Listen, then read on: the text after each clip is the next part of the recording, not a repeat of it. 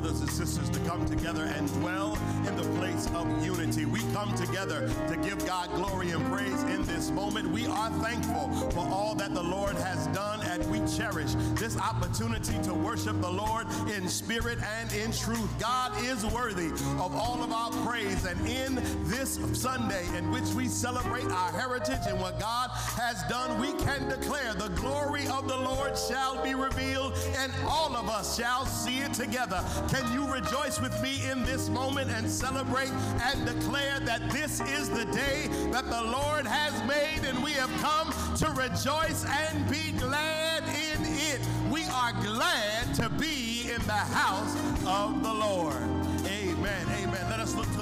word of prayer as we share in this moment. Gracious God, how we adore you. Gracious God, how we come into this place, give you thanks, honor, and glory for all that you have done. We come, God, receiving your spirit, and we come, God, giving you our best offering of worship in this moment. Bless God, this choir that will continue to inspire us, continue to bless this preacher, bless God, this worship atmosphere that we might come together just to give you glory, just to give you honor, just to look back over our lives and thank you for what you've done. But not only that, God, but to look back and see how far we've come as a people to celebrate what you've done in our, in our story today. So bless us, God, and continue to keep us as we go forward in the wonderful, marvelous, and majestic name of Jesus. The people of God together say amen, say amen, and say amen. Let us receive our musical aggregation as they come and lead us in worship and in song.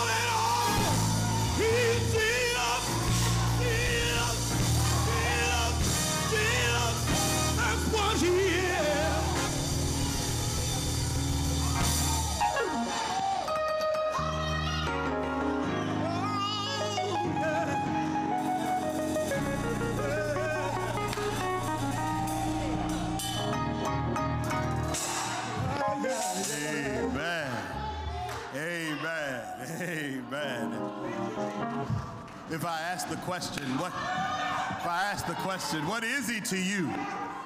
Amen. What be the response? If I ask the question, what is he to you? The, the saints say he's a heavy load sharer and, and a burden bearer. They, the elders say he's a waymaker. He, he's a provider. What, what is he to you? If I was to ask what, what is he to you, what would be your response on this morning? That's whatever he is, that's, that's what he is. I, I believe they say he puts a roof over my head and food on my table and clothes on my back, that he makes ways out of no way, that he still shows up in the middle of the dark. That's, that's just what he is. He's what he is, and we're grateful. We are grateful. Hallelujah, grateful for this wonderful musical aggregation for blessing us. Amen. Grateful, grateful, grateful. Listen. We take this time simply to greet you and declare the goodness of the Lord is in this place. We celebrate and we celebrate and acknowledge the, the spirit of worship in this place. We recognize the great energy, the spirit of the ancestors that just continues to pour in and feed us in this moment. We greet you in the Zulu word, Sawubona, Sawubona, Sawubona, Sawubona, which simply means we see you. Sawubona means we see you. We recognize your presence. We acknowledge who you are. We, your presence has value to us. Sawubona. And the response is Yebo Sawubona. Yes, we see you. We see you in this place. It is the essence of fellowship. It is the essence of coming together. It is the, it is the symbol and the meaning of what it means to gather together in unity. Everybody is included. Everybody is recognized under the idea of we see you. There is value in you being in this place. So, Sawubona, we see you. We greet you in the wonderful name of our Lord and our Savior, Jesus Christ. It is good to be in the house of the Lord on this morning. Amen.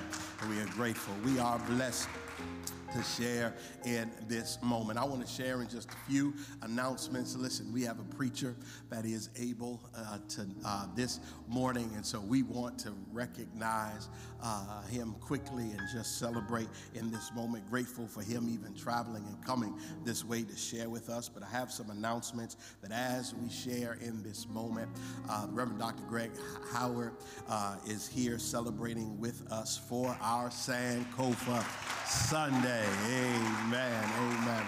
And we are grateful for his presence. We just want to give you some information that you will see that the FAM, F-A-M, our uh, family advocacy ministry is gathering and meeting on March 1st. They will do that via Zoom March 1st uh, at 7 p.m. They are preparing to launch their community-wide touchless drive-through food pantry. They're going to provide a, a food pantry that is going to be drive-through and touchless. And so if you are interested in sharing in that process and working together to be a part of that, please please get in contact with the church uh, so that you can get the information. I'm going to give it to you quickly now.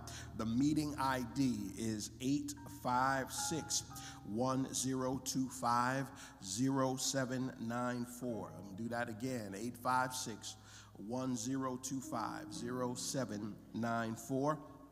And the passcode for that are capitals NCBCFAM. NCBC. FAM. And so please make sure if you are interested in sharing in the family advocacy ministry that you sign on to that. We also continue to celebrate and acknowledge our church school. We are grateful for all of you who have signed up and who share in our virtual church school. It is taking place uh, every Sunday morning from 9 to 10, from 9 to 10. So this morning uh, we had our virtual school. Grateful for those teachers. And so if you are interested in sharing, please call the church office by 2 p.m on Friday so that we can have you registered and signed up for that uh, and give you the information to sign on to our church school. Also, want to just acknowledge and uh, those who are becoming uh, members of the New Calvary family. We are delighted that we are having members who are joining and being a part of New Calvary virtually. Amen. They are becoming a part of the New Calvary family virtually, and we do not take that for granted. We're grateful for that. And so, if you are indeed desiring to be a part of the New Calvary family, not only can you put it in the comments section uh, uh, in on social media, but you can also call uh, we specific number for our new members. That is 757 828 6162. It'll be posted on your screen 757 828 6121.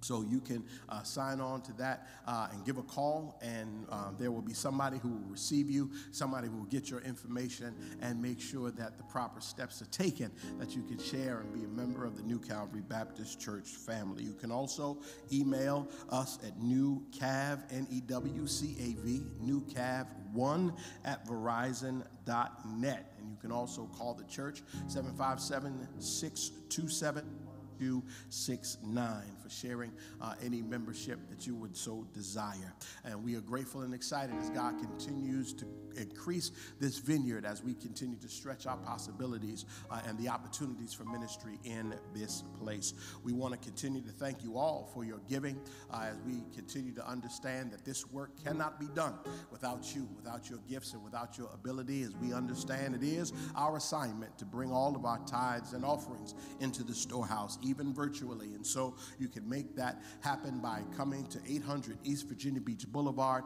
here in the city of Norfolk, 23504, or you can mail those to that address, or, or you can get on Givelify and make New Calvary your favorite place to give. However, you give, we understand that the Lord loves a cheerful giver, and we thank faithfulness God that continue to pour in to the New Calvary family as we do the work of ministry in this place. Please do not forget Tell your family, tell your friends to like and subscribe to New Calvary Baptist Church, New Calvary uh, Norfolk VA. That is on Facebook, that is uh, on YouTube, and you can get on Instagram. Find us and share with us as well. And please uh, keep in contact with us as we continue to do the work of ministry in this place. I am grateful for all of those who continue to share. And as we expand, we had a wonderful time. I'm told the women had an awesome time time this past weekend as they continued to share uh, in their women's ministry as uh, Minister Brittany Lyons continued to bless and talk about the importance of self care. And so we appreciate uh, the gifts of New Calvary even coming home to be a blessing to us. And we continue to move forward and to share in the gifts of ministry. And this um, month uh, coming up in March is Women's Month, and there I am told there are a whole lot of things that they have in store that they are excited to share in the month of March. And so we are going to be excited to share and experience with them and hope and pray as we labor together. We also please note that the hours of New Calvary, our business hours we have, do have these COVID hours. And so uh, from 9 to 2 uh, from Tuesday on Tuesday, Wednesday, Thursday, and Friday. From Tuesday to Friday, from 9 to 2. From 9 a.m. to 2 p.m., uh, all business, you can make your calls, and all business is conducted in those hours. And so thank you in advance for your faithfulness and all that you do. Uh, we're going to take this time and this moment uh, to share in a word of prayer because there are those uh, who need prayer in uh, New Calvary Baptist Church family. But I'm just going to take this time to share and introduce uh, this preacher of the hour who is coming to bless us on today. It is indeed a treat to have him. He serves uh, as the interim dean of the School of Theology at Virginia Union University. He is a brother beloved. He is a friend. He is a fraternity brother. So you know he's a good dude all around. He is a deep, uh, comes in the form of the Reverend Dr. Gregory Howard. And he is the pastor of Union Branch Baptist Church in Chesterfield, Virginia. He continues to move and work uh, faithfully in the kingdom of God. He is a brother who's not afraid to work hard and to invest in people and to invest in the liberation of his people. He holds a bachelor's of science degree from or, uh, in organizational management and development from Bluefield State College. He holds a master of divinity from the Samuel DeWitt Proctor School of Theology at Virginia Union University and a doctor of ministry degree with a concentration in preaching in Aquinas Institute of Theology at St. Louis University. He is the author of Black Sacred Rhetoric, the Gospel According to Religious Folk Talk, and Voices Crying Out in the Wilderness, Theological Reflections Where Context Matters. He is a preaching professor at the School of Theology, and I am grateful to him uh, in our friendship and our brotherhood as he has allowed me to be an adjunct professor at the School of Theology, and I have shared there uh, under his leadership, and I'm grateful for his leadership and his trust in me. It has been an awesome, awesome journey. And so he is an outstanding preacher of the gospel, uh, and we will be blessed on this Sankofa Sunday. So after we go to the Lord in prayer and after we hear from this wonderful choir blessing us, we will hear from the Reverend Dr. Gregory Howard. And so we prepare our hearts and minds uh, to share uh, in a word of prayer. Like we said, there is so much going on right now in the family of faith, so much going on in the New Calvary family, and we want to lift up prayer because we understand with much prayer there is much power. With little prayer, there's little power. And with no prayer, there's no power. And so we continue to pray for one another. We continue to pray uh, for all of the saints. We continue to pray uh, for the power to continue just to run on a little while longer. And so, if there are prayer concerns that you have at this particular moment, we invite you to put them in the comment section uh, of your uh, screen and so that our virtual minister may acknowledge and recognize and continue to lift up your needs and concerns in a word of prayer. But we pray uh, the new, as the New Calvary family and as a body of believers. We pray for Sister Brenda Morris. We pray uh, for Sister Leonthea Miller. We pray for Sister Patricia Gainey. We pray for Sister Emma Tyree. We pray for Sister LaBarbara Willis, who had to go to the hospital this week, and we pray for her recovery. We pray for Sister Darlene and Brother Wayne Baxter. We pray for the Turner family, Sister Dolores and Brother Joe Turner. We pray for the little Sister Willie Mae and Brother George Little, who is now uh, in the hospital. We pray for Brother Willie Turner. Pray for Brother Harold Brown, who is recuperating from heart surgery. Glory to God. We are grateful. We pray for Sister Cynthia Hanna, and we pray for the Allen family. And we pray uh, for the passage and the home going of Sister Layla Banks. Sister Layla Banks went home to be with the Lord. She is, and the family, uh, we pray for, she is the cousin of Brother William Delk, former trustee here. And so we continue to just pray as our list continues to grow. We do believe that our faith grows stronger and God will continue to surround us with power uh, in this place. So let us look to the Lord in a word of prayer as we invoke the Lord's presence. For God, how grateful we are. How grateful we are for another day how grateful we are for the opportunity just to worship you in spirit and in truth. We're grateful, dear God, for all that you have done, grateful for the ways that you've made, grateful for how you provide. We thank you, God, for this day that you've allowed us to wake up as you have touched us with your finger of love, as you have blessed us, God, to understand that we must make our way to a place of worship, to recognize, to connect, and to fellowship, and to give you praise, honor, and glory for one more time. God, we thank you for this Sankofa Sunday. Thank you for the opportunity to celebrate, to worship you, and to honor and to remember those who have gone before us.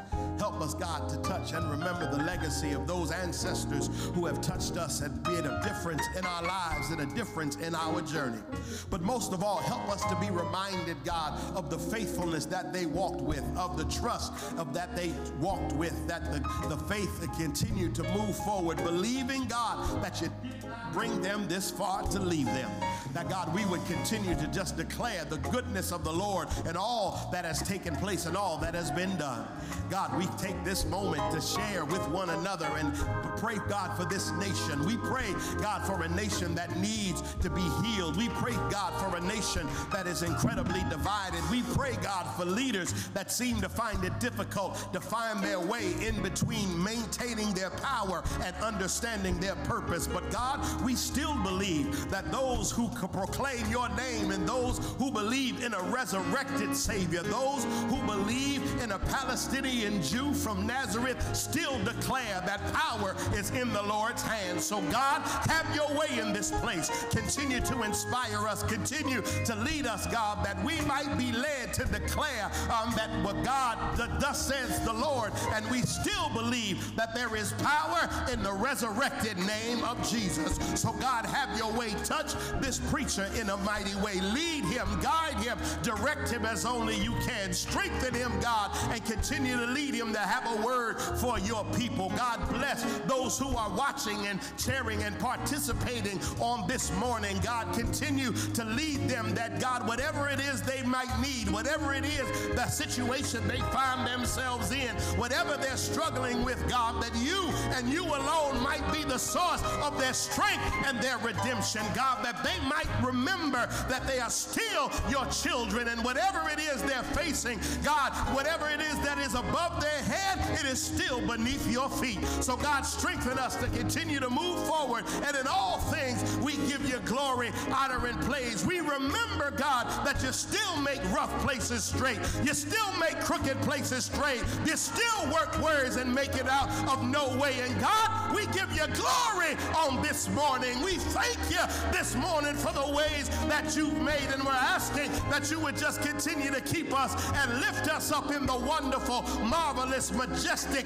miracle working name of Jesus. And everything that has breath might understand and declare that where two or three are gathered in the place that you are in the midst. And that we declare that at the name of Jesus, every knee shall bow and every tongue shall confess that the Lord still reigns. So have your way. And we give you thanks in the wonderful, marvelous name of Jesus that the people of God together would say, Amen, Amen, and Amen. Come on, put your lights up, put your hands up as we receive this choir for blessing us as we prepare our hearts and minds for the preached word of God.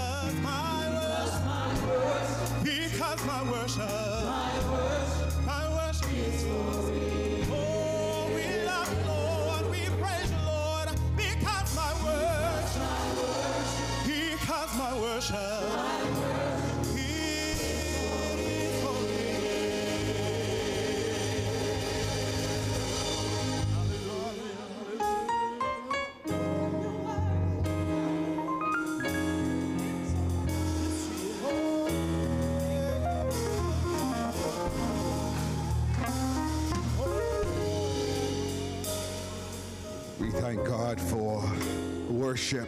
And we have been reminded in song that our worship is for real. In the midst of alternative facts and falsehoods, our worship is for real. Therefore, we declare, as David did, that I will bless the Lord at all times.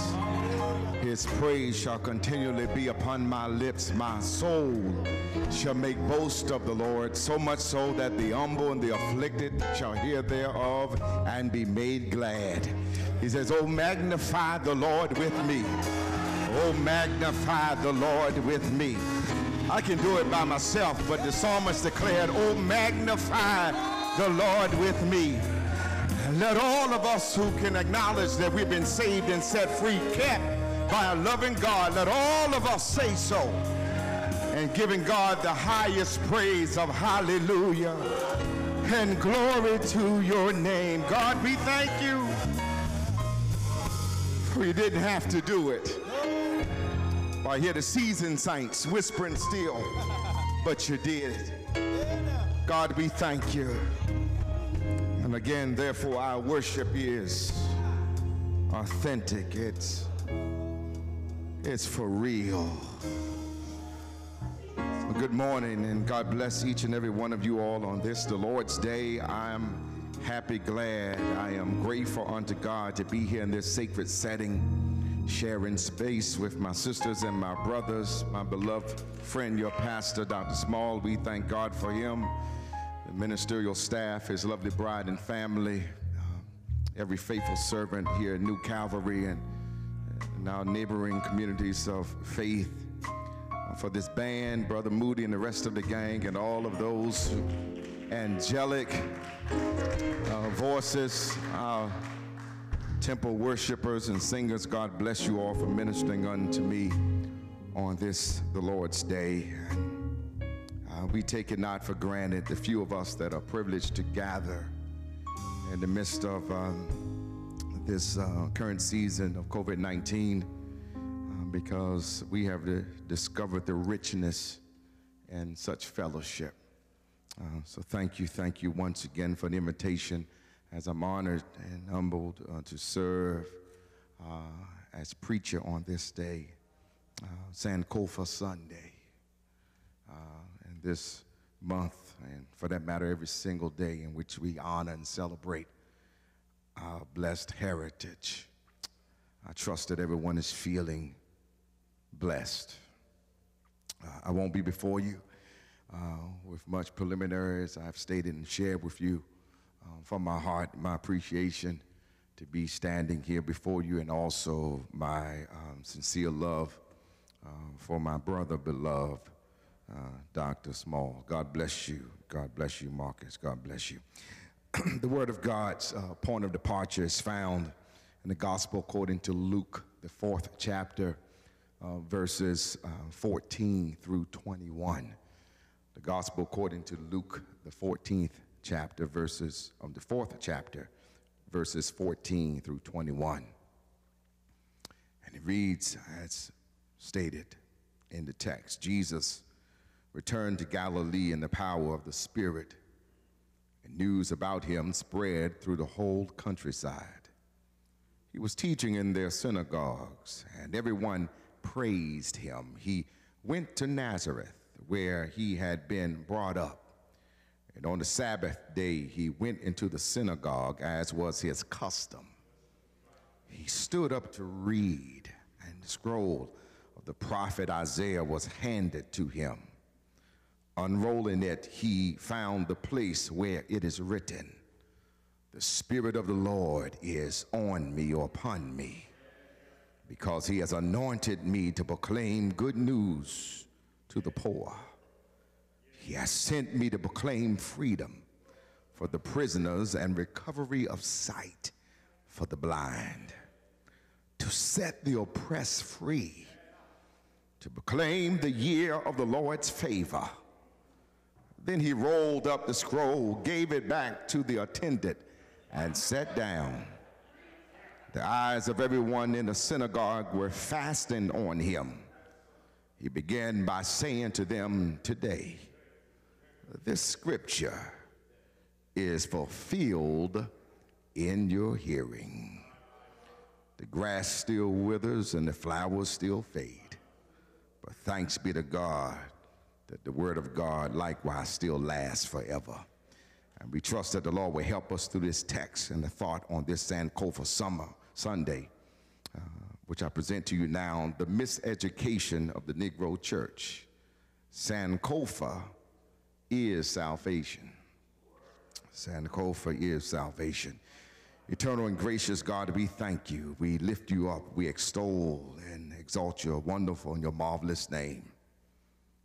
From beginning to end, we have discovered day by day that you are faithful, and therefore, from the rising of the sun to the going down of the same, we choose to render you praise. Thank you, God, for keeping us. Thank you for enlightening us and empowering us. But even in our weakness and even in our most fragile state, God, you were there as that prop on each and every leaning side.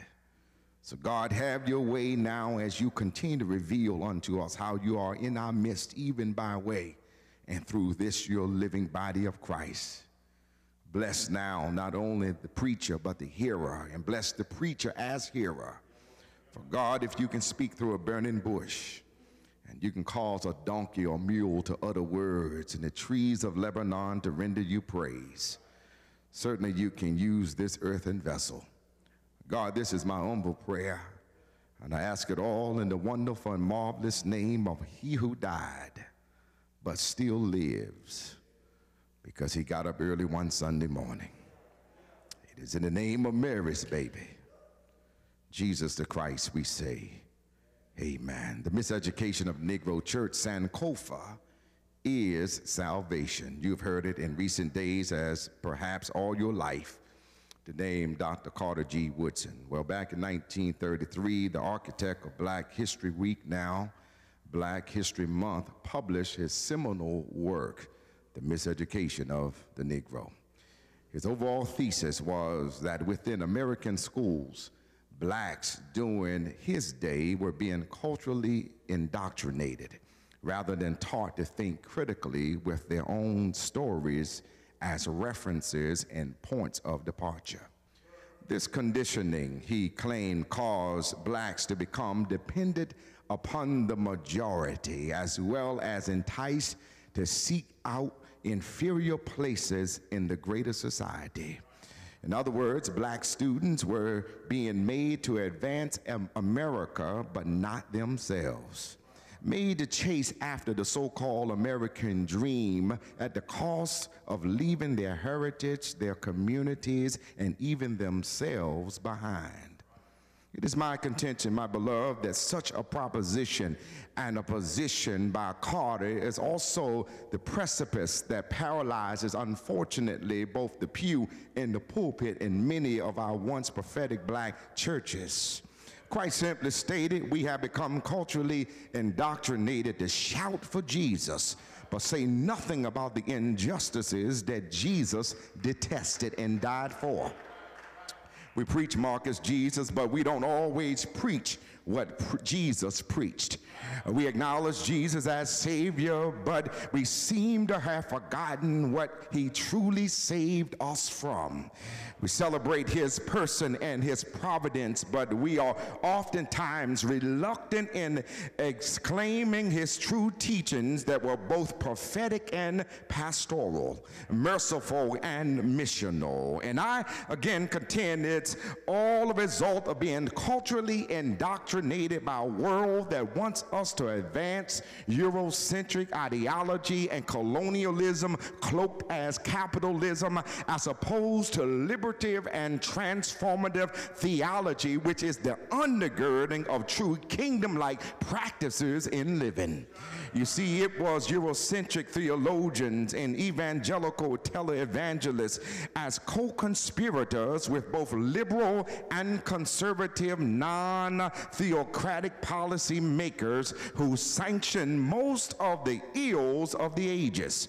They sought to justify slavery through bigoted and biased biblical interpretation. They set out still to silence those voices that are seeking justice as they did during the civil rights age and era by condemning and charging them as being civilly disobedient and heretics. Uh, and even now, by the stretching and searching of scripture to support their justification uh, of exalting and standing alongside of insurrectionists uh, and terrorists and daring to equate their acts as that of free speech while indicting Black Lives Matter of freedom fighters as criminals.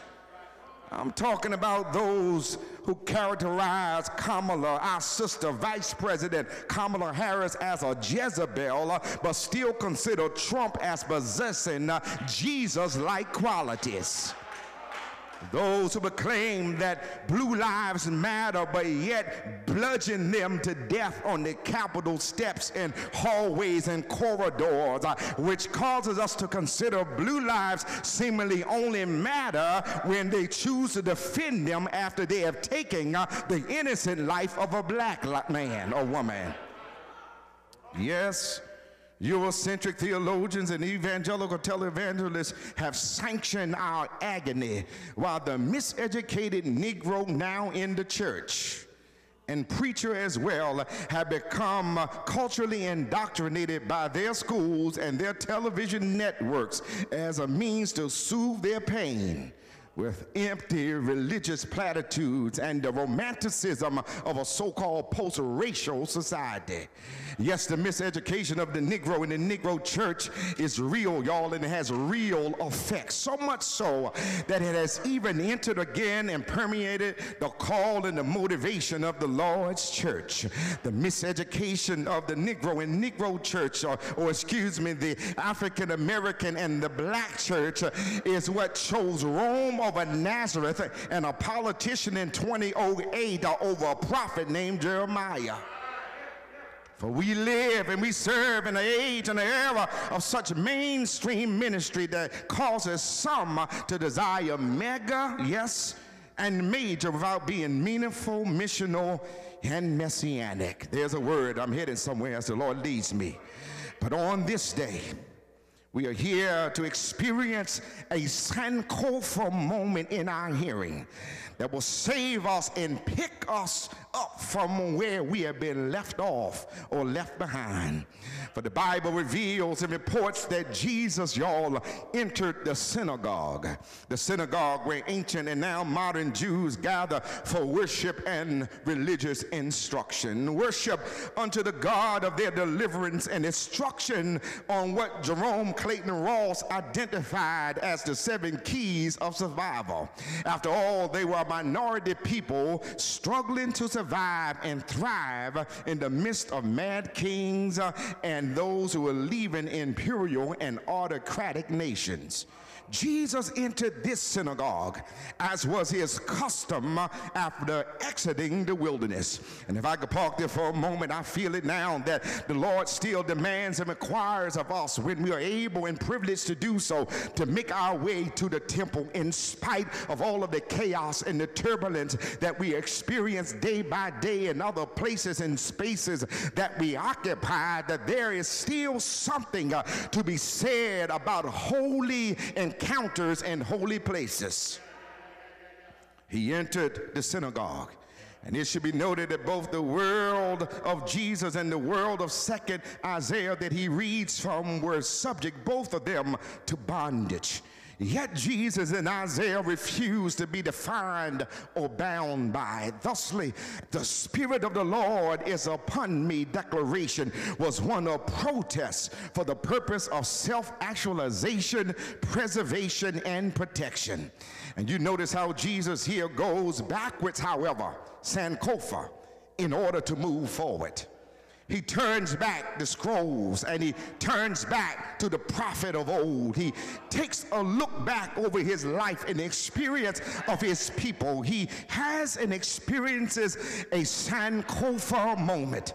Jesus, like Paul, was taught in a synagogue, but now he goes back to re educate the miseducated. Jesus established a nexus between remembrance and relevancy. For the scroll of the prophet Isaiah was handed to him, you heard me read it. And Isaiah declared, and now Jesus on that day proclaims that the Spirit of the Lord is upon me because the Lord has anointed me to proclaim good news to the poor. He has sent me to proclaim freedom for the prisoner and recovery of sight for the blind, to set the oppressed free, to proclaim the year of the Lord's favor. Robert Dykstra once stated and said in some of his penmanship in one publication that the preacher ought not to talk about him or herself unless they use a personal parabolic statement. But Jesus went ahead and chose to talk about himself and said that the Spirit of the Lord is upon me. And he reinforms or re educates the miseducated community of faith as the Lord is speaking unto us in our hearing today. But the question is, and I won't be long, what's the lesson that we are in need of learning during this Heritage Month, during this Sankofa Sunday experience. Lessons that, yes, your pastor teach daily, but what are we being challenged, called to be reminded of right now at this hour? The principles and the precepts, precepts that speak to and lead us into the practice, full practice of our faith. Well, just a few lessons. First lesson is that prophetic witnessing and truly divine truth telling. They're the primary mode and mechanism of expressing and exercising the ministry of Jesus. Jesus talked in a manner in a way that it was not intended for people to be made to feel comfortable. Jesus talked the talk, told the truth unapologetically. And we need to learn how to witness more prophetically. It was the early of 20th century writer and humorist Finley Peter Dunne or Dune who defined the role of the newspaper. What we have since adopted as our operative definition of prophetic preaching, and that is it is intended to comfort the afflicted and to afflict the comfortable. and I recall Professor Boykin Sanders of the School of Theology stating that prophetic speaking or witnessing is a form of speech that seeks to arrest drifting societies, reconnecting them to their charter meanings. Prophetic speaking, witnessing, and preaching is, as he says, roots speech. It takes us back to a good place before being tainted and influenced by colonialism. Jesus speaks to the condition of existence brought on by systemic sins formed in institutions and the legislation of Roman, the Roman Senate and executive orders of Caesar's Augustus and executed by Pontius Pilate, just like the times that we have just recently faced. Legislation and orders that subjugated one people while exalting the other.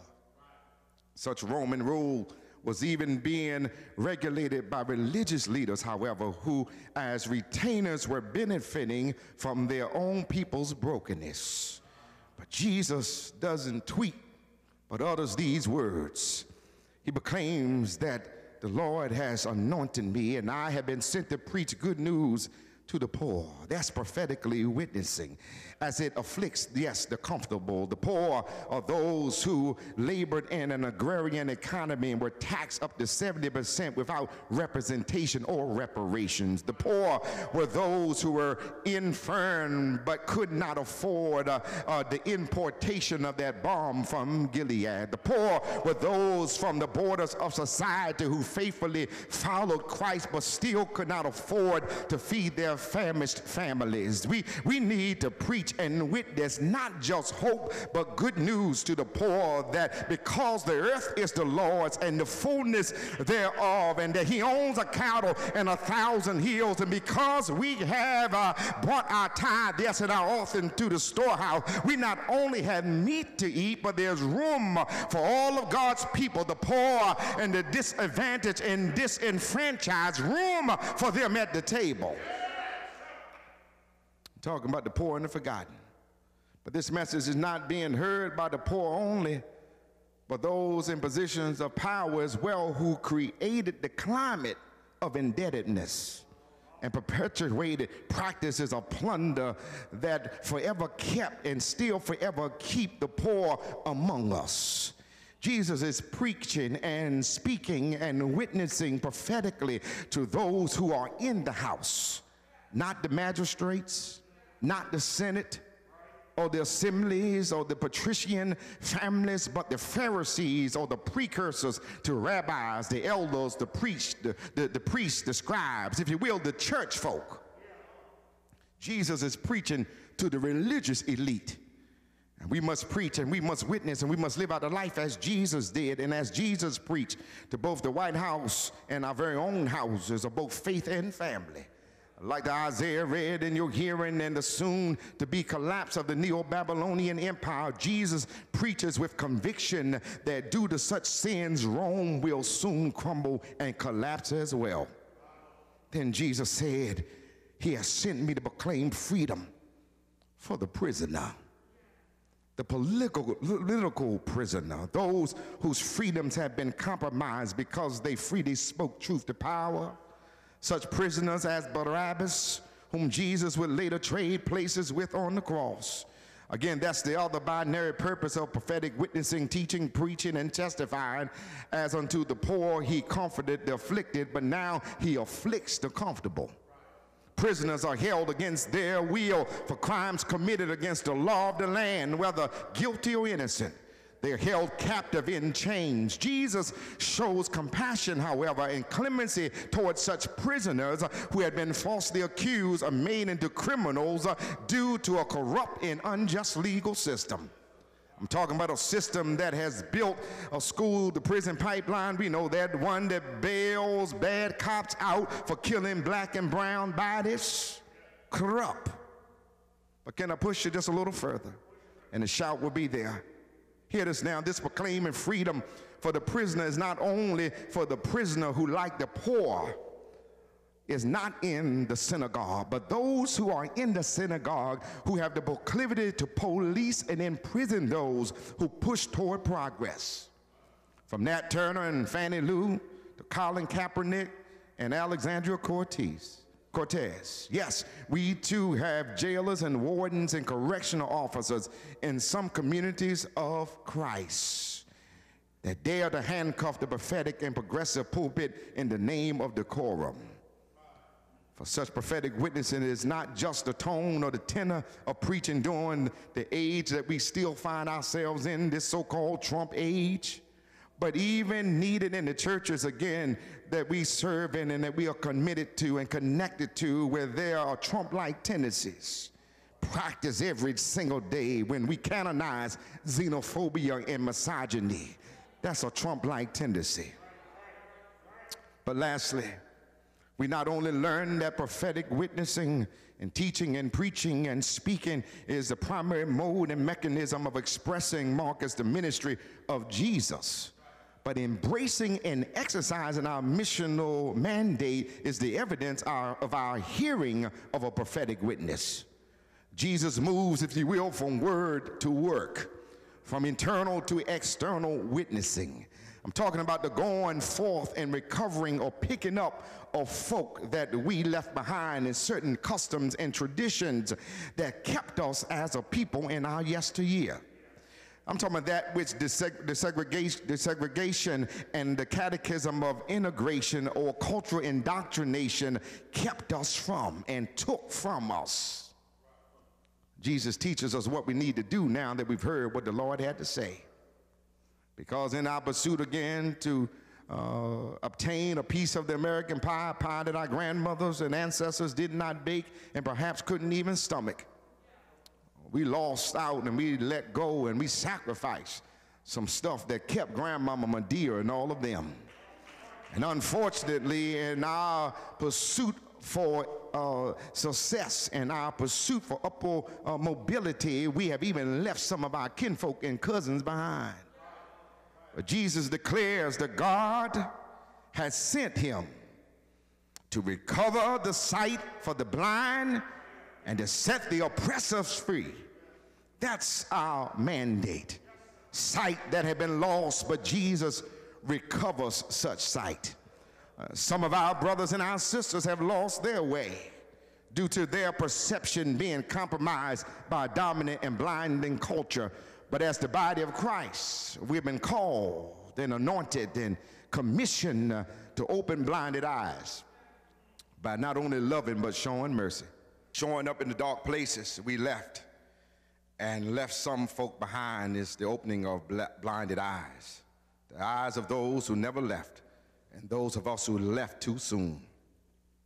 And after the lesson, the Bible says Jesus rolled up the scroll, closed the book, if you will, gave it back to the attendant, the worship leader, and he sat down. Therese, the eyes of everyone in the synagogue were fastened on him. They heard him, but now they are watching him. So he says to them, Today the scripture is fulfilled, my beloved, in your hearing. Today it is carried into effect, brought to realization, performed, executed, and realized. Unlike his contemporaries who were self medicating themselves with a theology of hope alone, Jesus introduces unto us in this text the doctrine of realized eschatology. As in today, you will be with me in paradise, or the time for justice and freedom is now. The genius of Jesus is that although the world walked away from him, after waiting on him, he tells the world to make it happen today. Today is a contravening moment to the reality you were once experiencing. It is in the space where it appears to be your most negative experience that grace happens and paradise is made visible. Today doesn't wait for Caesar subsidies, but today is a new form of existence as we reclaim the prosperity we once had prior to integrating with Egypt, Babylon, and Rome. That's why we can declare that this is the day that the Lord has made. And we ought to rejoice and be made glad in it. Because Jesus says today, what I preached and what I've shared with you, it shall be realized, it shall be performed, it shall be carried out.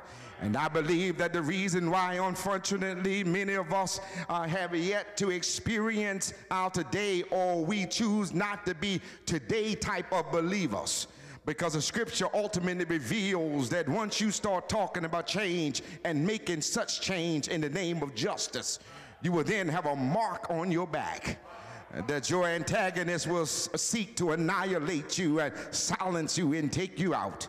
But I say today, this scripture is fulfilled, New Calvary. Before today, all we had was hope, but today we have this anointing and power to set at liberty the captives. For the Spirit of the Lord is upon all of us. It is upon New Calvary. It is upon not only the uh, pulpit, but the pew. It is upon us, not the king, but the prophet. Uh, not Pharaoh as believed in ancient Egyptian times or Caesar in the days of Rome, uh, but it's upon the people of God because we are the theocracy. We are those whom the Lord has called out from and anointed to do such work. Jesus takes us back, I tell you, to a place where we first believed. He takes us back to a place where we had power, where we were endowed with such power to move mountains and even strike rocks and cause water to cry from it. When Babylon fell and Israel was freed, he takes us back where our ancestors rest and heaven resides.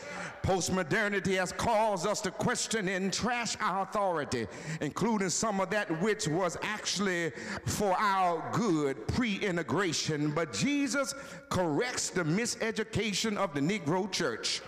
He corrects it and reminds us that sometimes, again, you need to go back and pick up some of that stuff that we have chosen to sell out in order to be seated alongside of folk that do not love our humanity. Sometimes you have to go back in order to move forward. Sometimes, like Minnie Riperton, you have to go back down memory lane. And Gladys even said you have to go back to find a simpler place and time. You have to do as Isaac Watts declared at the cross, at the cross where I first saw the light and the burdens of my heart rolled away. All I'm trying to say is at some point in time, we have to be willing to experience a Sankofa moment. Why would you ask? Because I declare that there's salvation in going back. Something can be said about those Sankofa experiences in that it was there that you met up with the salvific power of the Lord. Jesus, I tell you, returned himself to Nazareth you know, he went back to Nazareth and then he even turned back or went back to the prophecy of Isaiah in order to re educate the miseducated people of God of their forgotten purpose and power. And then going backward, he picked up some folk. He picked up the poor in the text and the imprisoned. He picked up the blind and he picked up the oppressed. My beloved, every now and again, you have to be willing to go back or experience a Sankofa moment in order to fully move forward in the power of the God that we serve. There's no secret, you know it. I'm from the country. I'm a country boy, and I shared a few years ago of how I recalled on one occasion how I discovered the significance of Sankofa discovered the significance of going back, if you will, in order to move forward better than before. You see, back in high school, back in the late 80s, Marcus, I was blessed to purchase or buy a Volkswagen Rabbit. It was a four speed, didn't pay but $100 for it. It was a little rusty at the, at the bottom of its frame, but the engine worked and, and the transmission was holding itself together. Yeah, I'll tell you, it was a four speed, you know, and I would get in that uh, Volkswagen Rabbit and, and make my way to my desired destination, moving from first to second, third, and fourth. It wasn't a five speed nor third, three speed, but it was a four speed. And it also had another gear, however, somewhere up there in the upper left hand corner of uh, the stick shift or the drive shaft. It had another gear that did not have a one, two, or three uh, numerical value upon it, but it had a letter on it. It had the letter aura, y'all. Uh, and that aura represented, if you will, reverse. In other words, after you've gone your way ahead of yourself, and if by chance you've gone a little too far, or you've discovered that you needed to turn back, you could put it in reverse. And on this one occasion, I recalled on my way to school one morning, on my way making that 20 minute drive from Moelis to Lancaster to my high school there, I, I passed on by a hitchhiker. I passed on by a brother who was down at the bottom of the hill uh, trying to make his way somewhere. I remember it vividly, y'all. Uh, I passed the brother on by in my 1979 green Volkswagen Rabbit. It was again a four speed. Uh, I passed him on by. You know, hitchhiking wasn't so serious back then. Prior to us coming to the knowledge of unfortunately still today that which plagues us in, tra- in sex trafficking. Uh, but on that day, I just simply passed him on by because I was busy. I passed him on by because my mind was made up. I had to make it before the bell rung at 8 a.m. on that morning. I passed him on by uh, because I didn't know him really, but I seen him before, and he wasn't my kinfolk or from the same pedigree or, or family tree, so I passed him on by. But something grabbed hold of my consciousness, something grabbed hold of my heart, and I looked up in my rearview mirror, and I remember seeing that brother back there after I have gone some 40 or 50 yards, and I was convicted in that moment because I remember before I had the Volkswagen, before I had that four speed, before I had that 79 Rabbit, uh, that I had to wait just like he waited uh, on the corner after school uh, in order for someone's kind and gracious enough, didn't mind being interrupted, stopping by and picking us up and dropping us off at the bottom of the hill. I remembered what it was like on a cold and chilly afternoon, uh, longing to have a ride, uh, but having to wait until somebody finally uh, willing to stop by and pick us up. Uh, and I learned something in that moment. Uh, God convicts you, y'all, uh, to go back sometimes uh, in order to pick some folk up uh, that you left behind. Uh, so I hit my brakes and I put that old 1979 Volkswagen Rabbit in reverse and with a winding transmission. With a winding transmission, y'all. I put it in reverse uh, and I backed all the way up uh, and pulled aside the brother, uh, opened my door uh, and asked him if he needed a ride uh, and where can I drop him off at. Uh, he talked to me and I talked to him. and when we got to the next town, he said, This is good, my brother. Thank you for the ride. Gave me two or three dollars. Back then, that was a half a tank of gas. Uh, he gave me a few dollars uh, that I didn't have on my own. Uh, he blessed me because I blessed him. but what am I trying to say? all I did, y'all, is did what Jesus did, and that is put it in reverse. after 40 and two generations, he put it in reverse uh, on a hill called Calvary. Uh, he put it in reverse uh, in a chilly tomb uh, a catacomb on a Sunday morning. Uh, he put it in reverse. Uh, and one of these old days, he says, I'm going to put it in reverse. come back and gather the elite. I don't know about you, but I'm Jesus type convicted. if I have failed you, I'm going to put it in reverse. if I left you behind uh, to a failing democracy, uh, I'm going to put it in reverse, uh, pick you up uh, the way he picked me up. Uh, and aren't you mighty glad uh, that the Lord Jesus Christ uh, is willing to go back uh, and go down uh, in order to pick you up? I thank you, Jesus, for going back, meeting me where I was Thank you, Jesus, uh, for revisiting me uh, where I chose to be left off. Uh, thank you, Jesus, uh, for showing up uh, after folk walked out. Won't he will keep showing up? won't he will go back to check on you? won't he will put it in reverse? won't he will reach way down uh, to pick you up? Uh, can I say it like I feel it? Uh, so if you've been left behind, be not dismayed. Whatever betide, God will, God will take care of you by going back, picking you up, lifting you up, exalting you, saving you. Only will say yes.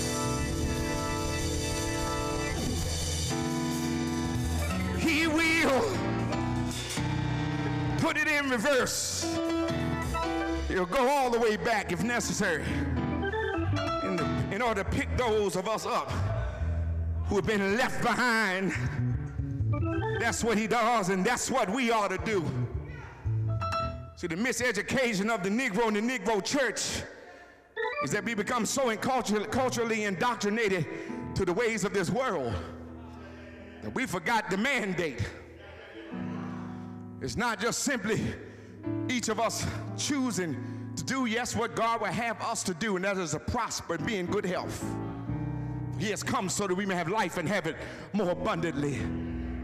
But for the rest of them, just as it was for us, perhaps, we have to be willing to put it in reverse. Sankofa, go back. That's where the salvation is. I don't know about you, but to be left behind and yet someone comes back to get you is a salvific experience. Sankofa is salvation. And the Lord commissions us to practice it. Not just reflecting in theory, but doing in such practice of a life of justice and equity and equality.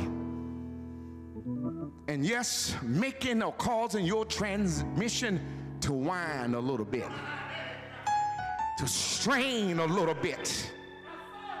You don't want to go, but you got to go. Because when you look back over your life, when you look into your rear view mirror, I'm talking about those of us who let some folk behind. When you look back over your life and just think things over, you can clearly see that the Lord has been good to you. The Lord showed up in somebody else to pick you up after other folk, including our own selves, left ourselves behind. I'm done. That's all I have. I don't know about anybody. I'm just grateful that he being created in the same image of God or in the image of God, co-equal to God, caught, thought it not robbery. Not just simply to humble himself, but to go back. He who reigns and finds residence in that place of pure Godhead said, I'm going back pick some folk up. I'm going back to help the blind and the poor and the oppressed and the imprisoned. I'm going back to get those folk that Rome has exploited and left behind. He has come, and y'all know how it is in our faith. We shout over the fact that he's coming again.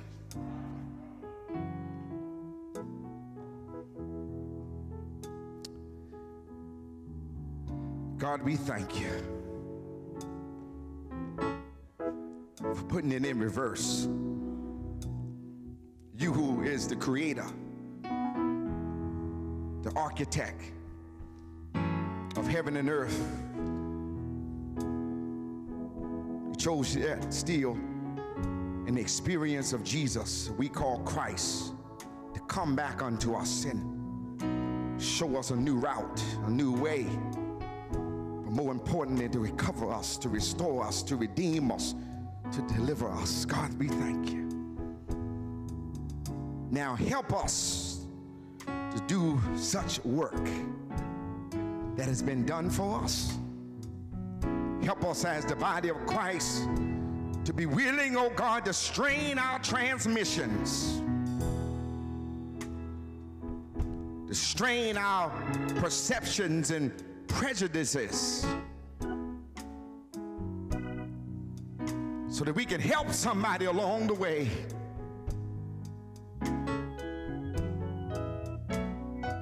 Someone who did not ask to be left behind, but is waiting there on the byway or the highway or the sidelines, even the ditches and the curves of life.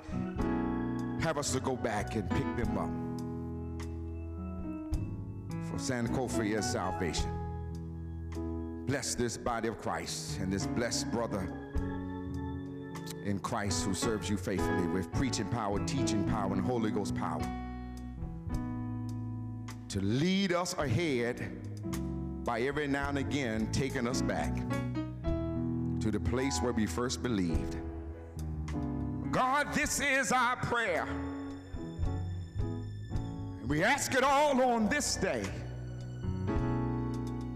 In the name of Mary's baby, the bright and morning star, the rose of Sharon, that root cut from dry ground. We ask it all in the name of Jesus, the love of our soul, and we say, Amen. Amen.